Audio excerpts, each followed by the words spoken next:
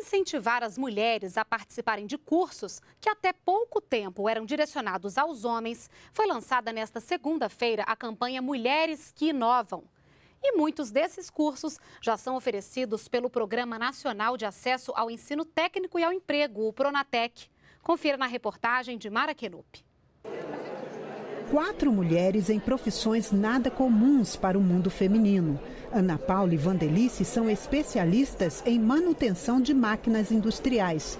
Débora é mecânica e Maria Raquel, eletricista.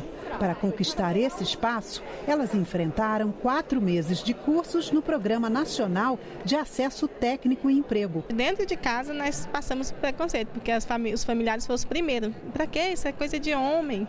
Nós não, nós vamos fazer. A mulher também é capaz. A minha renda mudou, a minha vida mudou, minha autoestima como mulher mudou.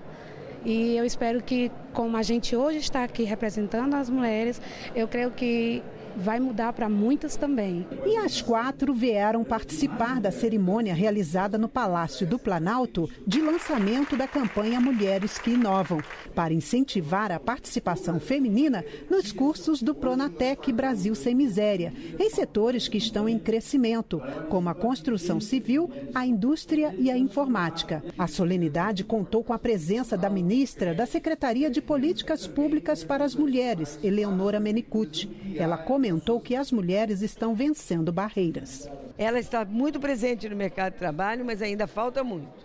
E o que nós queremos é que a, a inserção das mulheres no mercado de trabalho seja tão valorizada como a inserção masculina. A intenção do governo é ampliar o campo profissional feminino e, assim, melhorar os salários. E a capacitação pelo Pronatec, que oferece cursos de graça, é a grande oportunidade. Dados do Ministério do Desenvolvimento Social e Combate à Fome revelam, pelo Pronatec já passaram 230 mil alunos auxiliar administrativo, computação, eletricista, recepcionista, corte e costura. São os cursos mais procurados. No primeiro ano do Plano Brasil Sem Miséria, o programa ofereceu 190 cursos em mais de 870 municípios de todo o país. Nesse período, a participação das mulheres foi de 70%.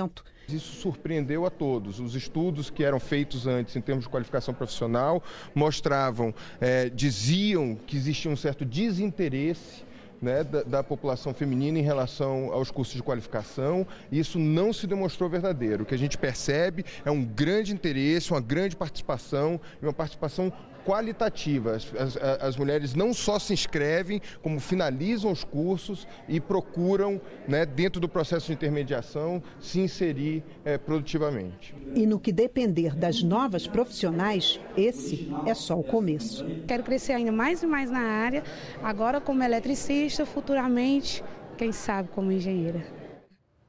Para conferir os cursos, basta acessar o site que está na tela ou ligar para o número 0800 707 2003.